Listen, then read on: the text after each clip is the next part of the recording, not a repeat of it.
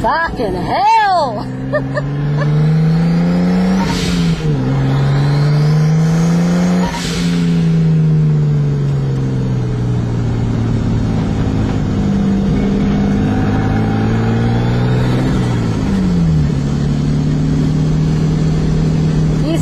Helmet is too big for me. and it's swinging.